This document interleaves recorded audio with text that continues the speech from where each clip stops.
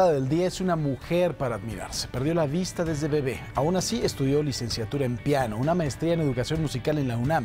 Venció barreras como el examen de admisión, que no está en braille o está también en lugares poco accesibles para poderlo hacer. Busca cambiar las formas de enseñar para personas con debilidad visual, pues afirma que con la educación no les están haciendo un favor, sino que es un derecho, por supuesto. Una mujer admirable en este Día de la Mujer, por supuesto, un gran ejemplo. Gracias.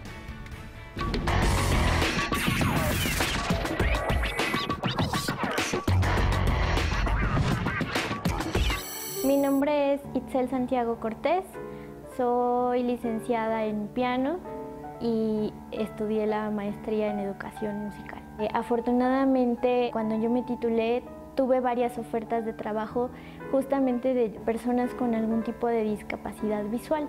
Entonces yo sentía que tenía que estar más preparada. La motivación que tuve para hacer la tesis sobre la inclusión de estudiantes con discapacidad visual tiene que ver con las barreras a las que yo me enfrentaba cotidianamente durante mis estudios de licenciatura. Era también como esta idea de poder incidir a través de la investigación a nivel como educativo con los docentes, ¿no? A cambiar esta parte de que se ve que a veces nos hacen como o se percibe como si nos hicieran un favor cuando pues es nuestro derecho, ¿no? Es ejercer el derecho a la educación.